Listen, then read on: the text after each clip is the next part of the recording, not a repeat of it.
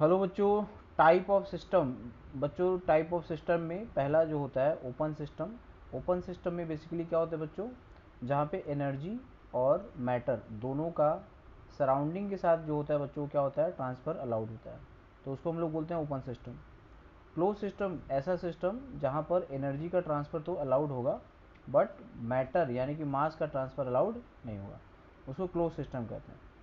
Isolated system isolated system बच्चों बहुत ही इंपॉर्टेंट है। आइसोलेटेड सिस्टम का मतलब होता है कि ऐसा सिस्टम जो सराउंडिंग के साथ मास का तो ट्रांसफ़र करे मास का भी ट्रांसफ़र नहीं करेगा एनर्जी का भी ट्रांसफ़र नहीं करेगा, ठीक है? दोनों का ट्रांसफ़र जो नहीं करता है। इसके लिए बच्चों क्या होना चाहिए कि वो जो सिस्टम है, वो तो क्लोज होना ही चाहिए। और मोस्ट इंपॉर्टेंट है बच्चों, इसका जो वॉल है वो एडियाबेटिक होना चाहिए और ये रिजिड वेसल होना चाहिए। अगर बच्चों नॉन रिजिड वेसल होगा तो एडियाबेटिक वॉल होने के बावजूद भी वहाँ पे एनर्जी का ट्रांसफ़र हो सकता है। क्यों हो सकता है?